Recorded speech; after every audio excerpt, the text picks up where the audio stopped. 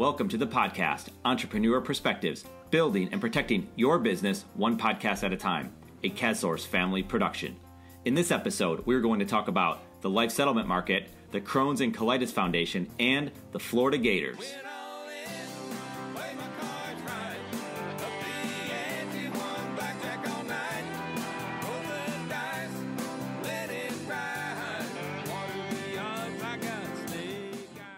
Our guest today is Jamie Mendelsohn, EVP of the Ashar Group in Orlando, Florida.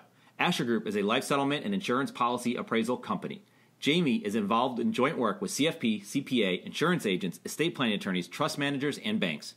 She adds value to the firm she works with by providing education and back office support of the life settlement market. Ashar is a relationship and family first company. Jamie brings perspective of someone who helps advisors and families monetize existing insurance and annuity assets. Because of our experience with Jamie and Ashar Group, we're excited to have her on the podcast as we know her knowledge will help any business owner. Let's get into it. Jamie, welcome to the Entrepreneur Perspectives podcast. Great to have you. Great to be here. Yeah, so we're going to start with some questions requiring a more thoughtful response and end with a round of rapid fire questions. You ready to get going? I'm ready. All right, so what was it like growing up as a twin? Oh, it was great. Um, had my best friend with me all the time. We played together. We you know studied together. Uh, real wonderful. My whole family is great though. I I grew up with um, two older brothers. Um, we're all great friends today. So our parents did a really good job raising us, and we all hope to be like them. Yeah, yeah. Well, you do a lot with your family today, and we're definitely going to get into that some more. But uh, as we dive in a little bit more about you, you heard the intro about you. I can't do you justice in one opening statement, though. So tell us something real about you that the audience wouldn't know. Um, you know, I I've been in this market for almost 10 years uh, in the secondary market for life insurance, and spent a lot of time uh, traveling around the country. I actually studied wildlife ecology and conservation in college with a master's in in tourism and nature-based travel. So maybe something interesting about me compared to just being in financial services is I love going to Montana in the summers, uh, fly fishing and and hiking, um, being outdoors, uh, and then I I like Portland as well. One of my other favorite cities to travel to in Oregon, uh, love Willamette Valley and, and Pinots. So that's excellent. Do you get to go there? Me. Do you get to do that at least once a year? Um, I try to do that at least once a year. Um, thankfully, with our business, we're we have a national footprint, so um, mix business with pleasure as much as I can, and, and we have clients in Portland, so I get out there usually at least once a year. In Montana, I'm out in once one or two times a year. That's awesome. So that you're taking advantage of the travel. We hear so many people talk about travel and complain about the travel that they have to do with their work, but it sounds like you're kind of on the opposite end of it, where you see it as this huge opportunity and make fun of, you know, have fun with it. Oh, I love it. I mean, I really try when I'm on the road. I'm a huge fan of diners, drive-ins, and dives. So I yeah. try to go to some restaurants off the the beaten path, or or not visit chains. So I love to to eat and experience you know different cities and their cultures. So definitely. Yeah, no, I can understand it. that. So this is all happening with the Ashar Group. So tell us a little bit more about the growth of Ashar Group. Um, sure. Our family started this business in 03. Um, we started as really a boutique life settlement brokerage focused on working and representing advisory teams and policy o- owners in the life settlement transaction. So we're the seller's rep in the life settlement transaction. Um, after being a broker in this marketplace for more than a decade, we started um, working quite a bit with sophisticated planning teams, um, you know, estate business, retirement income planning teams, um, providing not only um, the appraisals of life insurance policies for sale in the life settlement market, but also appraisal and valuation services. So we work nationally with advisory teams to represent policy owners. Um, we don't do any direct consumer marketing. We're really a B2B organization, and our specialty is complex case design. Uh, we have an in house team of medical and financial underwriting specialists and contracting specialists. So we're built backwards compared to a lot of alternatives uh, to Ashar in this market um, with a, a client focused um, practice. Okay, so when you were at the beginning, you were saying you started when you started the business in 03 and then eventually became like a high end boutique planning group uh, to help ad- advisors out and help business B2B side of the company out. How did that come to be? I mean, was it based on existing relationships you had or your family had, or you know, it did it just happen overnight? You know, it was um, gradual growth, but that really, you know, sped up in this market. I think this marketplace years ago, um, you know, was a marketplace where there was really no regulation. Um, people were doing things that, you know, today, um, thankfully, are not occurring. Um, we feel that we were really regulated into the market. Our firm is one of the largest life settlement brokerages in the country. We work on hundreds of millions, really billions of death benefit in a year. And through word of mouth, as well as, again, these these business to business type relationships, we work top down with a lot of organizations, is how we um, grew our company. Being consistent in this business, being a professional firm, having the team of people that we've had. Um, many of our team members have been with Ashar for a decade or more. Um, and that's really the strength of Ashar. It's our ability, again, to work on these complex case designs, to be able to think outside the box, to collaborate with advisory teams, and you know, through our relationships with you know attorneys, CPAs, um, trust departments, insurance specialists, wealth managers all over the country, we've been able to grow our business into the firm it is today, um, solely focused again on appraising existing life insurance policies. We don't write life insurance, we don't do wealth management, we don't purchase policies for ourselves. So, you know, that's unique in this market. You know, you find there's there's other firms that dabble in some of those other areas. We really have a laser-like focus in helping advisory teams and policy owners understand the value of their life insurance. And then once they have that information, we will negotiate and facilitate the sale if they're looking to exit the policy or you know provide the data they need for their planning discussions. Yeah i mean so that that just says to me that you guys know what you do well. You've niched yourself out and then you took a methodical approach. We see it when we've worked with you guys um, but it's obvious that you don't dabble in every little thing that's out there. You're a master of what you do and I would imagine you would be giving that advice to business owners, no matter what business they're in, to niche themselves and be good, be really good at at least the one thing that they work on. Is that right? Yeah, absolutely. I mean, our father's a dermatologist, and he always told all all of us, whatever you do, be a specialist you know, as a physician, when he went to school, he focused on dermatology compared to, for his purposes, being a generalist or internist. And so he really drove that home for all of us. Um, I have a twin sister, um, like you mentioned earlier, and she's an analyst within um, the healthcare field. Um, and same with her, as well as with my brothers, Jason and John, um, that are principals of Ashar. We've always worked in specialized areas. Prior to Ashar, I actually ran a headhunting company focused in healthcare. Um, my brothers were um, in banking or in IT um, before starting the Ashar Group. And Ashar is a firm, and, and I don't know if you mentioned this earlier, but my brothers were were really um, focused when they chose the name Ashar. Ashar actually um, was chosen for a variety of reasons. One, because it's an A, and they wanted to be at the top of every list, um, but also because Asher um, the definition of Asher actually comes from the Old Testament, the Bible, um, one of the 12 tribes, and Asher means creating wealth with family. Do what is right, you will be blessed. So from from our parents and from our family and, and all of us, um, you know, I should say three of us went to University of Florida for college. Uh, Jason went to Emory.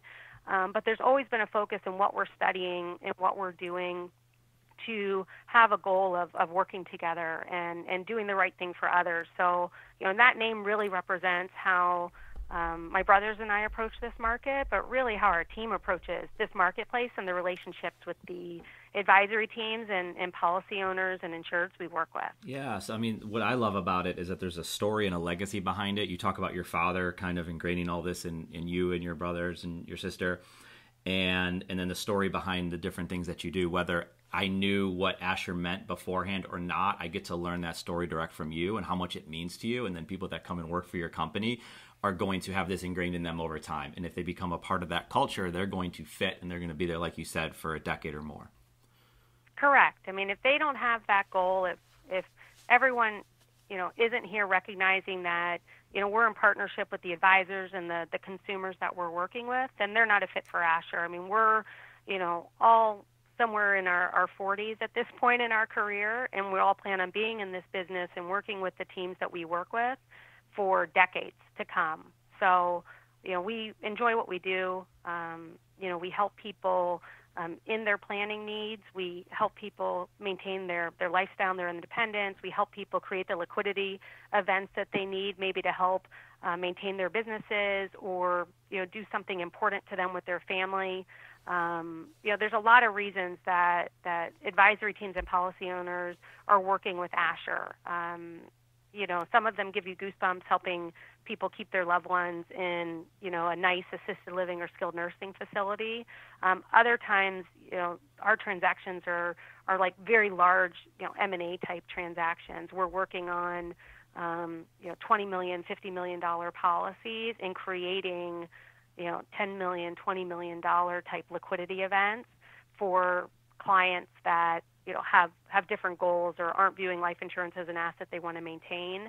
So we really run the spectrum with with the types of of clients that we work with, their needs and their reasons why they're they're looking to understand the value of their life insurance asset. Yeah. So then, with you at Asher, what is in your day to day work? What's your focus, and then ultimately, what's your goal for the business?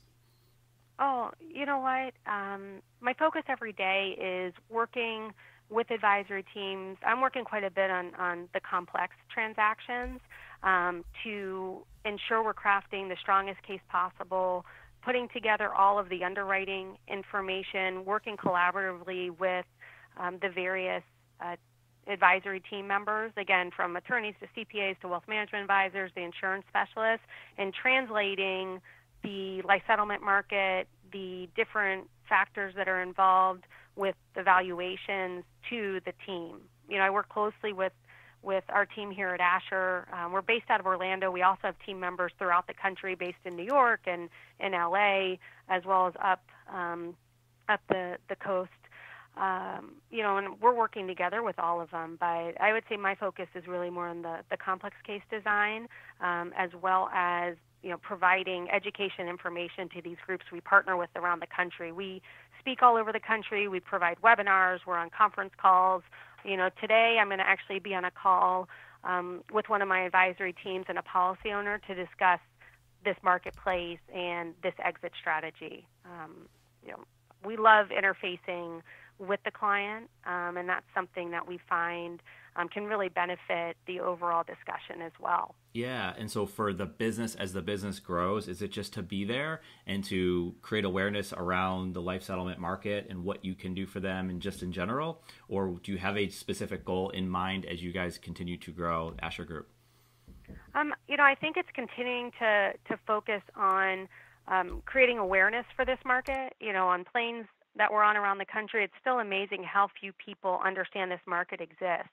And there's such an opportunity for policy owners to take advantage of this market with their with their policies. With the aging population, um, I think the fastest growing segment of the population are, are people over the age of 65. Um, you know, 112 billion in death benefit is lapsed or surrendered on insureds over the age of 65 every year.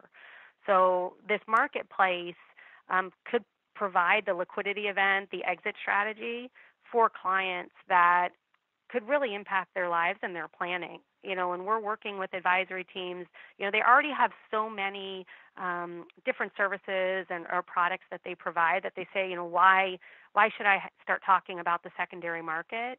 And I think some of the examples I provided earlier, the the magnitude of some of these liquidity events or on smaller policies, the ability um, to really impact the plan or or their their lifestyle and independence um, is powerful. You know, one of the advisors we work with made the comment that never should an advisor have a client that is going to lapse or surrender a policy and not explore this option, especially senior clients. So, you know, I see our marketplace only strengthening. It's considered an, you know, alternative asset class. We're seeing, you know, a ton of capital come into this space from private equity, hedge funds, and pension funds that like the longevity marketplace. They have good results with their existing life settlement portfolios that there's a real opportunity. So, you know, I think the future for this industry is bright. I think there's a real demand and need um, with our aging population to identify other assets or vehicles they have that could create the liquidity event to help them in their, their planning needs. Um, and Ashar is really built to serve clients and advisory teams all over the country. We have the infrastructure to do that. So, you know, we're continuing to build and educate our team.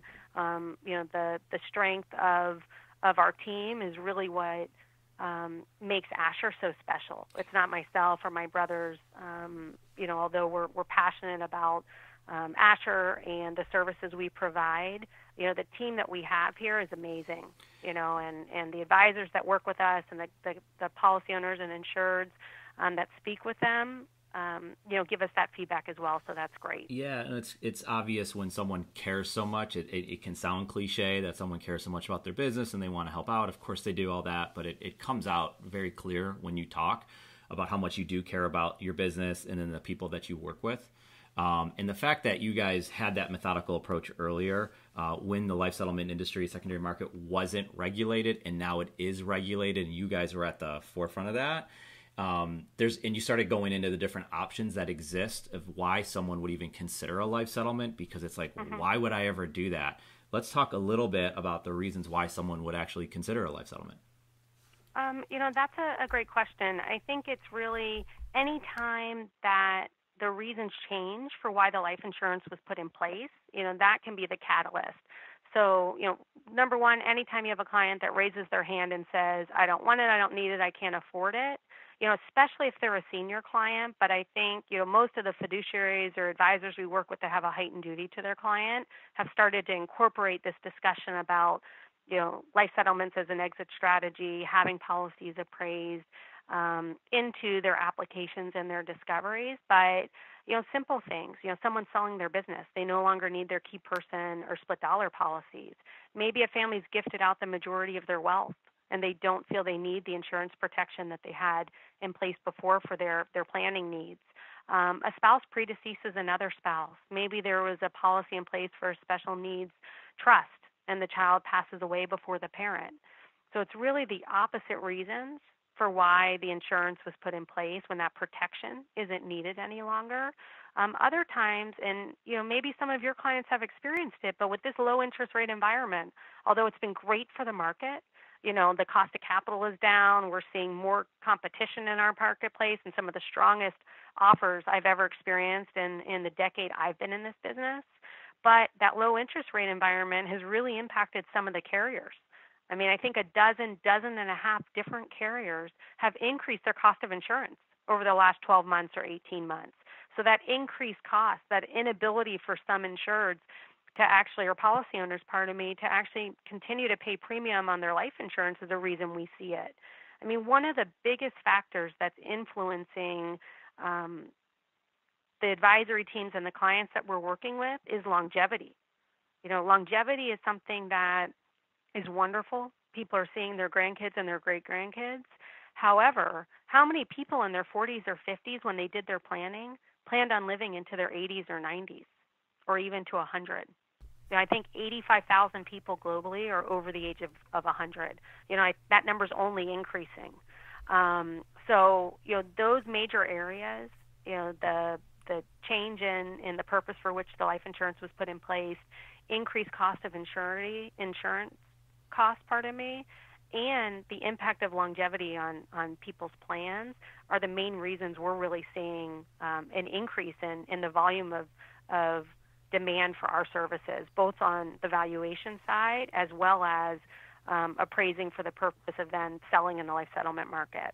That makes sense. I mean, at the end of the day, it, regardless of what industry you're in or what you do in life, things change, right? We might not want them to change, but they change, and, and things have evolved over time. And the rate of change that we're living in today in 2017, you're talking about people living longer, is obviously you know changing the way people now think about their future and where they're going to be and there's an obvious market because of that for the life settlement market so you're obviously in a great spot for that to have a business that can flourish because of it but at the same point like what you're saying is you need to create awareness around the entire idea of life settlements and yeah. what oh, go ahead go yeah ahead. no go ahead oh i was just going to say i mean you you really um, captured what I was saying really well, and I think it, it made me remember a point that, you know, with awareness, we think awareness is great. Like I mentioned, we educate um, advisory teams and, and people that we we um, communicate with all over the country about this market. You know, but it's really important to understand who represents who in this transaction. You know, there's a lot of marketing that's going on out there, which again I think is great because it's creating awareness for the industry. But for consumers, for advisory teams, it's really important to understand who represents who in this transaction. Um, there's really three main participants. There's the policy owner, there's the broker, which is um, which would be Ashar um, and our role in the transaction, and then there's the buyers. So Ashar actually wears the fiduciary hat to the policy owner. You know, again, we don't buy policies for our, ourselves. We represent policy owners in the life settlement transaction when we're working with them for the purpose of actually sale in the life settlement market. You know, on, in a boardroom, Ashar sits on the same side of the table as the advisory team and the client. On the opposite side of the table are those buyers, those institutional capital sources. So it's really important to ask that question as people are learning about the market is are you the seller's rep in the transaction or are you the buyer's rep in the transaction? So, you know, you triggered me with that awareness discussion because, you know, we agree and we are doing our part around the country. Um, you know, we've been published in Trust and Estate and Estate Planning Magazine. Um, we've you know been interviewed by by other publications and, and media to talk about this market uh, because we do think it's a highly regulated marketplace, something consumers should be aware of and policy owners should be aware of as an option that exists. Um, but it's also important to make sure that you know if a policy owner does make the decision to exit a policy and wants to approach this marketplace, that they're working with a firm like Ashar um, that actually represents them in the transaction. That makes a lot of sense, and you, you want to know who the players are. And I do also think when we talk about awareness, is sometimes with awareness it leads to negative perceptions. And the life settlement market, as you kind of mentioned before, had some issues as it was unregulated, and you had a lot of different people out there making a bad name for it and then that story builds in a lot of people's heads and we get phone calls all the time and they're interested in say a viatical settlement or they're saying well, if I sell my policy, someone, you know, in, in Manhattan is going to look to, you know, off me at a certain point. And it's crazy to think that that, but those conversations actually happen. So there's these, all these misconceptions about the life settlement market. I want you to kind of address those if you can. Sure. You know, and, and that's something that, you know, I find, um, you know, we're doing very frequently, like you mentioned, with the advisory teams and with the policy owners. So the life settlement market today is very different than the viatical market of the 90s or early 2000s. So the life settlement market today really grew out of that viatical market. Um, you know, the term viatical or life settlement are used interchangeably around the country from a regulatory standpoint. Ashar holds, I think, about 150 different licenses. So this is a highly regulated market today. Um, the viatical market was a marketplace of private buyers, small policies, um, and by definition means insured that had life expectancies of 24 months or less. The life settlement market is a highly regulated marketplace. When Ashar began in 2003, this was a, a highly regulated marketplace. We are not a rebranded viatical company. We didn't transition from the viatical market to the life settlement market. We came into this marketplace as it is today, you know, with a little bit less regulation back then compared to what's happened over the last decade. But the life settlement market today consists of institutional buyers, the BlackRocks, the Blackstones, the Apollos, the Berkshire Hathaways, these institutions are building large portfolios of life insurance. They're purchasing on all different types of um, policy types. They're buying on um, insureds usually that have up to about a 15 year life expectancy. So that might be a, a healthy 75 year old. That might be a impaired 70 year old. But their duration for this asset class on average is about out to 15 years. I have a, a case going to contracts right now where the insured's life expectancy is 18 years. So again, the market today, a life settlement market today is highly regulated, institutional buyers, um, purchasers that have about a 15-year time horizon for this asset class, and buyers that will purchase, you know, $100,000 face amounts or will purchase $50 million face amounts. So that's a really important point because a lot of people have this concern about, um, you know, quote unquote, the viatical market um, that existed years ago. You know, there's definitely still institutional buyers that will purchase policies on insureds that have significant health issues, terminal or chronic issues. Um, however, you know those buyers and other buyers will purchase much longer life expectancies. So anyone who's listening to to this conversation today that works with senior clients, you know, especially those I'd say over the age of 70, to make sure you're checking the box. And anytime you know someone raises their hand and says I'm going to exit a policy, I'm going to lapse or surrender, check the box and see if it qualifies for the life settlement market that exists today, um, and even for younger insureds to make sure they know this option exists, is a powerful conversation. Um, you know, I mentioned earlier that my father's a dermatologist, um, and he always said when my brothers were were interested in this marketplace and were thinking about starting the firm, he said, you know, as a physician, my patients come to me, and based off my my licensing and background, they're coming to me for advice and feedback my expertise. You know, as a physician, my responsibility is to provide all their drug therapy options, all their surgical options, and then make my recommendation on what would be best. Um, you know, and if I don't know all those options because I haven't done the continuing education, I'm not aware of it, that could very well be malpractice. And when my brothers talked about this industry, he said, you know, as a senior, I go to my advisory teams to advise me. I expect them to give me all my options, you know, you're telling me this is a regulated marketplace. If I go to my advisors and I ask them what my options are and they don't provide this option, you know, that's malpractice for those advisors because again, it's regulated, it's consumer centric, and it might not be the best option for me, but they should at least mention it to me and then tell me what they would recommend. So that always has has stuck with me when I'm working with advisory teams or policy owners around the country is to be given the information. A life settlement is not always the best option, but you know, I in my own life like to know what my options are, and then I'll make my decision.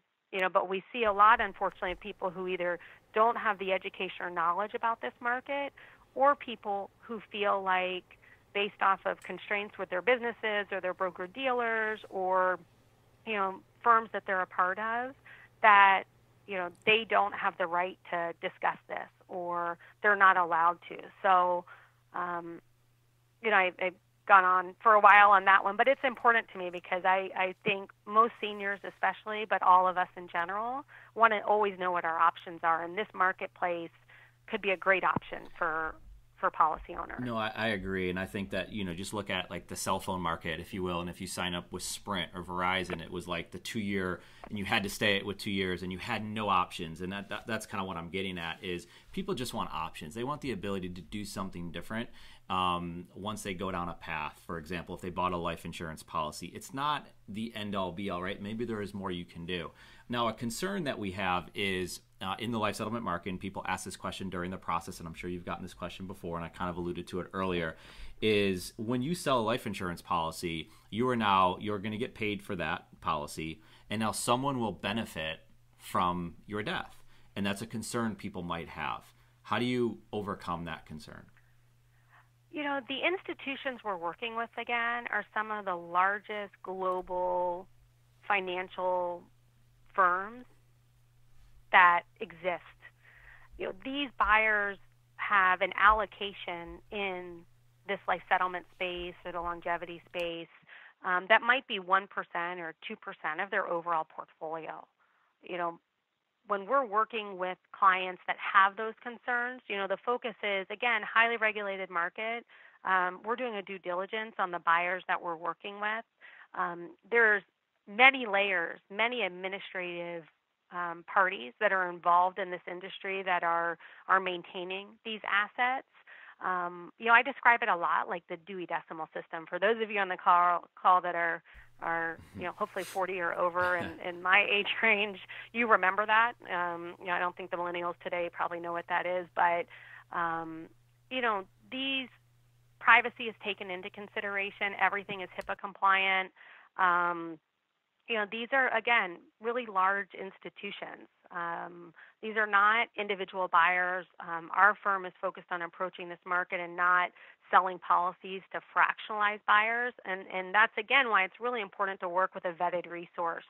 Um, you know, our organization partners and is with is the preferred resource with, you know, broker dealers, BGAs, IMOs, um, you know, carriers, law firms, CPA firms all over the country because of the approach and the type of due diligence that we do with the people that we partner with. But I think the the ask the question, um, I understand that, you know, related to it. But again, um, you know, these buyers are purchasing hundreds of millions of dollars of death benefit. They're diversifying their portfolio across hundreds of lives.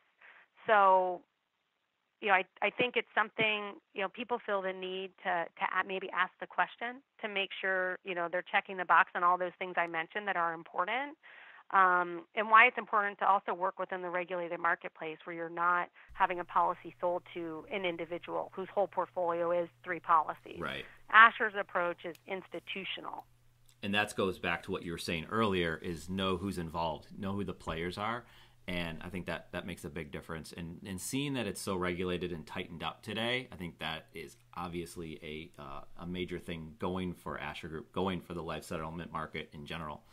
And I think that's uh we're on we're on the right track with it, and you guys are doing good work. So yeah, I mean, ninety percent of the population lives in regulated states. So most of your um, again listeners live in a regulated state. Um, so there's there's guidelines and and licensing that's required for all the parties involved. Yeah, and I mean, just from my personal standpoint, I've seen it. I've seen the market when it wasn't regulated.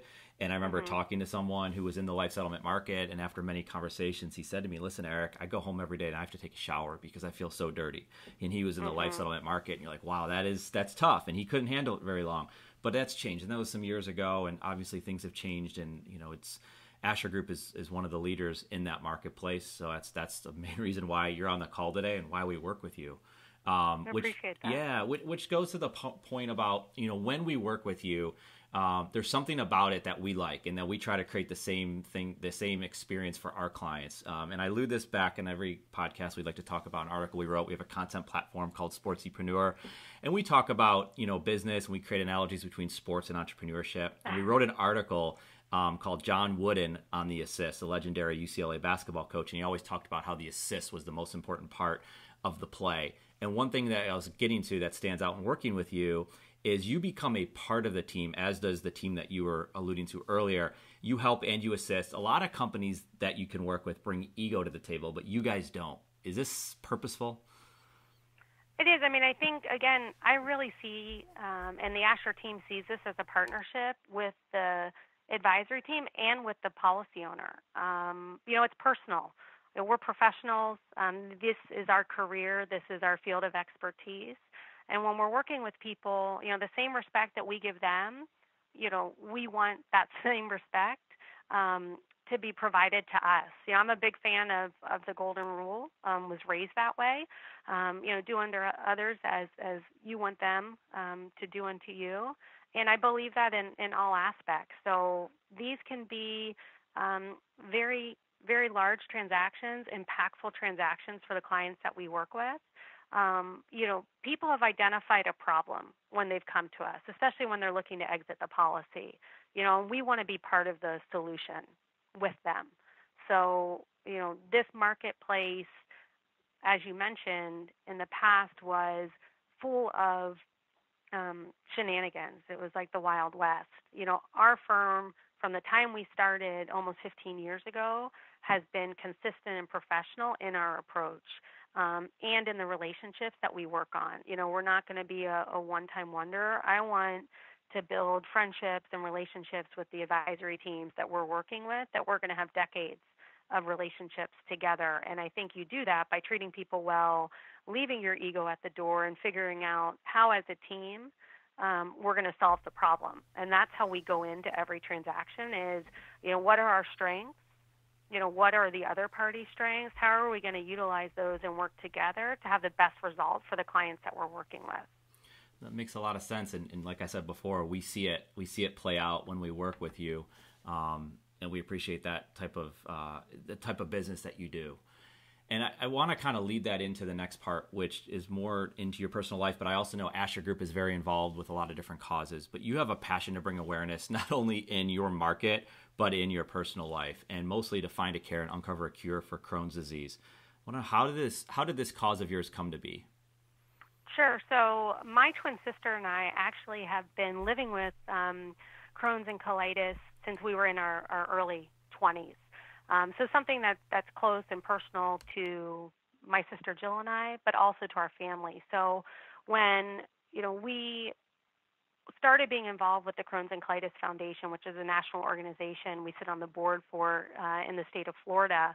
Um, Ashar and the team that we work with here also wanted to be involved and make an impact. Um, you know, it's a, a difficult disease or difficult diseases. There's no answer right now. There's not a straight path that you can take of, of drug therapies or surgical intervention to help people. Um, but we try to be role models and examples of people who, you know, can live and cope with the disease and still have successful careers and families um, and personal lives. So, you know, Ashar at every national meeting, and, and we exhibit or speak at, at meetings probably um, 30 plus a year all over the country. Um, we'll talk about the Crohn's and Colitis Foundation um, and the impact that it can have on people and families that are either living with the disease or um, living with someone who has the disease or knows someone to be a voice that this disease doesn't need to be silent.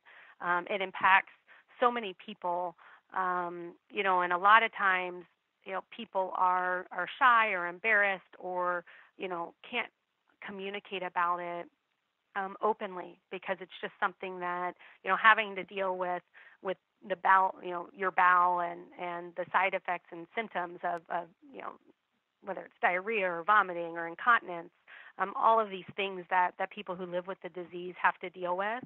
Um, we try to be be a voice so people don't need to be silent um, anymore. And Ashar, um, you know, every one of our emails for our company um, has a link to uh, the Crohn's and Colitis Foundation. Um, you know, we also do a lot, not just for Crohn's and colitis, but my brother Jason actually was diagnosed and lived lived through chemo and radiation and, and surgical interventions for um, stage four uh, squamous cell carcinoma, throat cancer, um, you know, HPV related. So, you know, we speak all over the country trying to be patient advocates on dealing with um, creating awareness, um, you know, raising funds for research when people want to donate. But for my sister and I, and for the team, it's really just being there for someone to talk to. I mean, advisors will come up to us and say their wife suffers, or their husband suffers, or their child suffers, or their friend does, and just you know want to talk about um, you know what the organizations can do, what kind of options exist, and just thank us for for bringing awareness. So no, and, thank and, you for letting me break, bring awareness. Absolutely. I mean, we we love to talk about, and we've got a few different people that we talk to, and, and it's it's clear when they have this cause that they support. I mean, Jamie, you have this positive mindset about everything that you do, whether it's traveling and taking advantage of that, whether it's the work and just being proud of the business that you work in and the industry that you work in. And obviously, there's something deeper behind it for you and your entire family. Obviously, your father raised you right, and then you see this stuff that you guys are doing for not just yourself, um, but for people you don't know and then just to become a sounding board for others and to help them out. I mean, that's what you're doing, right? It's you're just trying to help people um, live a better life or have find out what their options might be, whether it's a life settlement or whether that's a cure or getting care for Crohn's or colitis. And I think that's remarkable what you guys are doing, and definitely want to, you know, in the show notes we'll leave links and uh, descriptions to all that you guys are doing. If people were wanting to contribute to the Crohn's and Colitis Foundation, like what's the best way they should do that? Um, you can go to um, the Crohn's and Colitis website, and, and I provided that link to you, Eric, so you can put that um, on online, and that'd be great. I think you know just even getting involved with your local community. There's um, take steps in almost every city around the country um, that supports Crohn's and colitis. There's different runs with Team Challenge that supports the organization. You know, our parents um, were thankful, and, um, and my siblings as well, and, and our significant others have really supported us um, with these different diagnoses and the and the diseases and you know we've all gone through hospital stays and um and all different types of, of things because of, of these diagnoses. And we always felt blessed that we had the support system that we have. Um, but what we've seen around the country is other people don't have that, and that's why we try and be the voice. You know, I think it's reminding people, um, you know, you might have to cope with the disease, but especially with chronic conditions, you either make the decision to, you know, live your life and cope with the disease compared to your disease controlling you. So we like to be examples, all of us, you know, Jason included, um, of of being examples to people of not letting the disease or the diagnosis control them or what they want to accomplish or who they want to be with, you know, what they want to do. You might have to cope, you might need to make choices, but um, you know, we welcome talking to people. Jason on his blog, the Superman HPV um, blog, um, is his. My sister and I have a website, um, Crohn's and UC and IBD.com, where we provide blogs and we'll answer questions. Um, but I'll, I'll send you all of those links. But you know, anyone that lives with a chronic disease um, or has a child or a significant other that is, you know, um, ask questions to those around you. Ask for help um, if you need to, because I think um, you know there's a lot of uh, the importance of support is huge. So don't try and, and do it alone. Um, reach out to people because I think it's it's powerful. Yeah, and it's good to know that really good people still exist out there. So we we love hearing that. And, and, like I said before, we have a lot of people that we've talked to. Um, Brady Murray, who's a, a, client of ours, friend of ours, uh, runs a foundation called RODS, which is Racing for Orphans with Down Syndrome. Um, and we have uh, Evan Cutler, who actually lives in Charlotte, has spent a lot of time living in Iowa as well. His father died of Parkinson's. His grandfather had Parkinson's. He does this uh, challenge called Push Ups for Parkinson's, um, our family has a foundation for in Roswell, uh, in Buffalo, New York, called uh, for Roswell Park Cancer Institute. So it's just like all the different things that you're talking about. Um, there's a lot of great ways to contribute and be a part of, and we definitely want to help create awareness around what what you're passionate about. So, like I said, we'll have this on the show notes. We'll put it on our website, and we'll absolutely you know push to create more awareness for you around it and all the good that you guys are doing. So, Jamie, I really do appreciate you know that's the the the, in, the intel that you've given around your market, your passion around what you and your family um, do every single day, and uh, really do thank you for that part of it. This podcast episode of Entrepreneur Perspectives is brought to you by KazCM. KazCM helps you, the business owner, engage with your audience like never before. KazCM partners with business owners like you to help you create your online presence through content marketing, which includes website development, content creation, content distribution, and social media management. From developing your story to execution, KazCM engages your audience. This is KazCM's passion. This is what KazCM does in its own business, and KazCM is excited to bring these services to you. Want to learn more? Simply visit KazCM.com. That ends the thoughtful, more thoughtful round of questioning. We want to move into a rapid fire round. We'll go a little bit quicker, but take your time if you have to. Sound good? Yes. All right. What book are you reading right now? Uh, David Baldacci's The Hit. Okay. What is your favorite social media network for business? LinkedIn. Do you use it daily? I do. I use LinkedIn daily. Um, Ashar's also on Twitter and Facebook, but LinkedIn is my preference. I love seeing the people that I'm talking okay. to.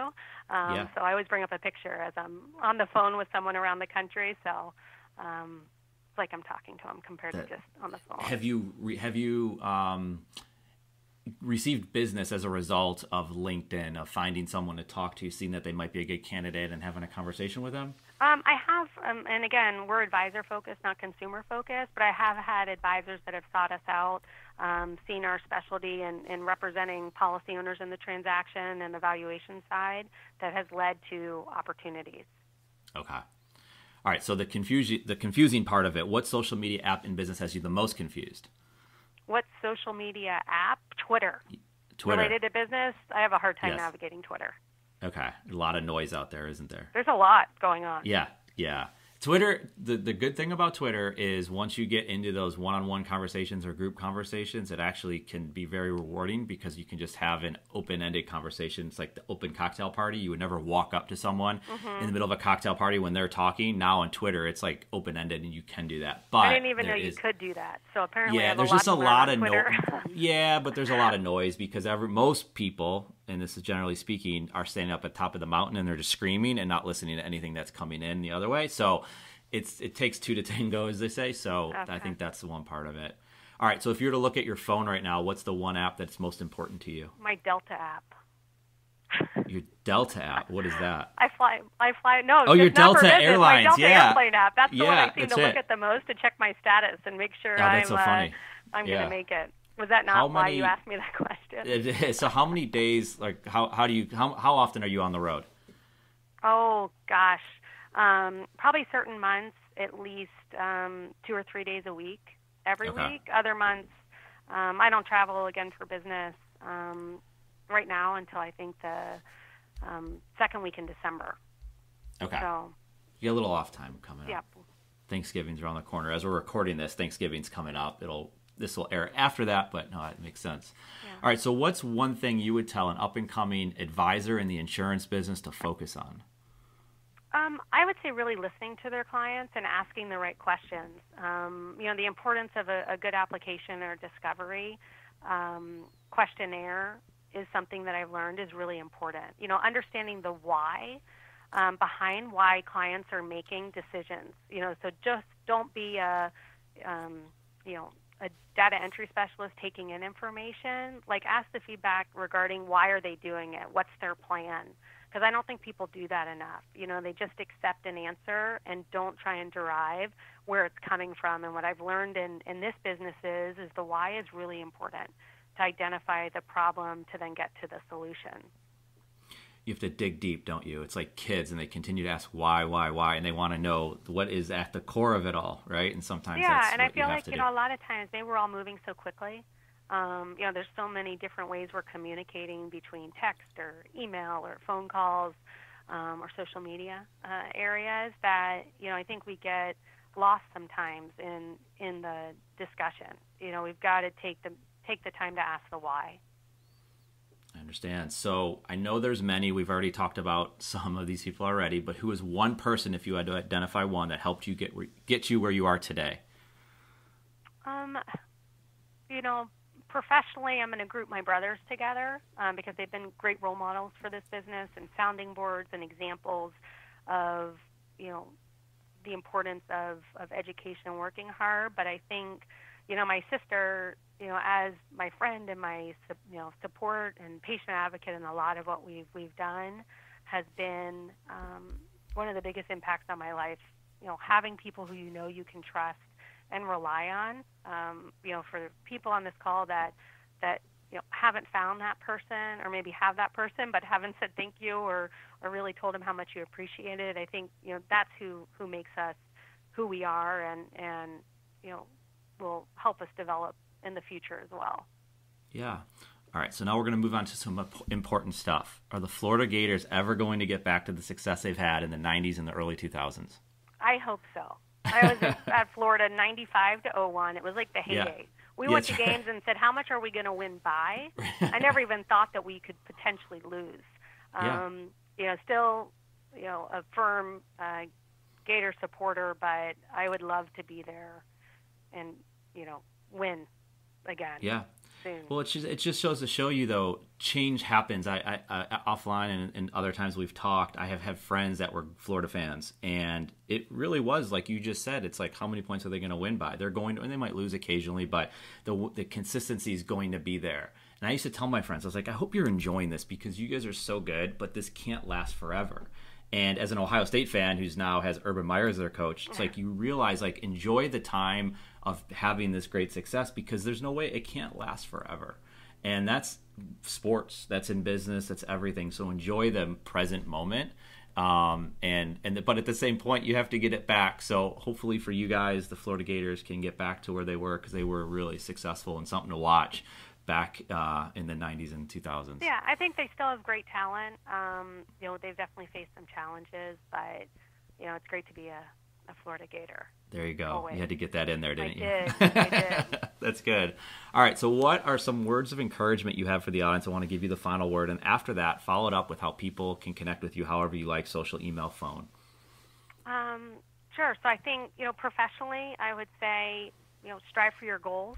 Um, as you reach your goals, uh, make new ones, or if you realize your goals aren't um, what they should be, you know, reassess them and make new goals. Um, you know, you can reach um, the Ashar team at our, our website, uh, ashargroup.com, two A's in Ashar. Um, you can reach me on, on my um, direct information. You can find me on LinkedIn. Um, Eric, I'll give you my contact information so they'll have my direct line or my cell phone or email, but we're on all the social medias um, LinkedIn, Twitter, Facebook. But for all of you on the call, I would say, you know, get outside your comfort zone. If you haven't thought about this market, think about this market. If you're not discussing it with your clients, you know, start discussing it with your clients and giving them these options. You know, be uncomfortable if you're unfamiliar with this. Ask the questions. Um, let us help provide you information. Um, and really, you know, don't let your clients just lapse or surrender a policy, especially again your senior clients without exploring this option. And we're here to, to help you do that, to partner with you, be that resource. Um, we'll be on phone calls, um, conference calls, you know, send you marketing information or educational information to, to help provide you some of the answers that you need um, to be comfortable in this space. So really appreciate um, Eric being here today uh, and anything I can do, please let me know. Absolutely, and you're right, Jamie. Thank you so much for for what you brought to the table today and giving us so much awareness around so many different things. Um, we can absolutely vouch for what Jamie and Ashar Group are doing. We've seen it before. They're there for you. They help you out, and it makes a big difference in doing your business. And it's funny. My grandmother used to say, "You don't grow in your com- comfortable, you grow when you're uncomfortable. And then my parents would say it, and then you just said it, and it's true. Um, it comes down from many generations, right? But it but it does make a difference, and that's something. That's a way you can look at the life settlement market. That's a way you can look at business differently. Uh, try new things, explore, have op- have conversations. Don't just assume that you have everything all figured out. And Jamie, you definitely uh, brought awareness around that and many other things today on this podcast. We really appreciate you spending the time with us. Thank you. Jamie, it was absolutely awesome having you on this podcast. From the insight on the life settlement market to her incredible courage and fight around Crohn's disease, Jamie is a great example of how to always have a positive mindset. The perspectives she brings as a businesswoman with clear objectives are now perspectives you, as the business owner and entrepreneur, can use for yourself. And for that, Jamie, thank you. And for any business owner or individual looking to learn more about life settlements or how you can help with finding a cure for Crohn's disease, I would encourage you to reach out to Jamie. You can call Jamie directly at 321 441 1119. If you have questions, feel free to reach out to me directly. You can contact me on Twitter at Eric underscore Kaz or with the same name on Instagram. Or you can find us at KazSource.com with links to us on the different social networks. Thank you for listening to our KazSource podcast, Entrepreneur Perspectives, building and protecting your business one podcast at a time. Until next time, we're out of here.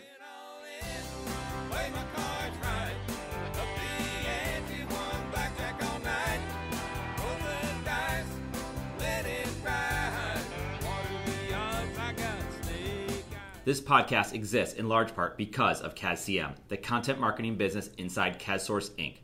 KazCM is excited to bring the content marketing services used at KazSource to you. Learn more by visiting KazCM.com. Thank you so much for listening to this podcast. It's a big deal to us. We hope you found value in it, and if you did, we would be incredibly grateful if you gave us a review on iTunes. Remember to subscribe to this podcast and feel free to share it with anyone you know. More than anything, thank you again for listening. We appreciate it.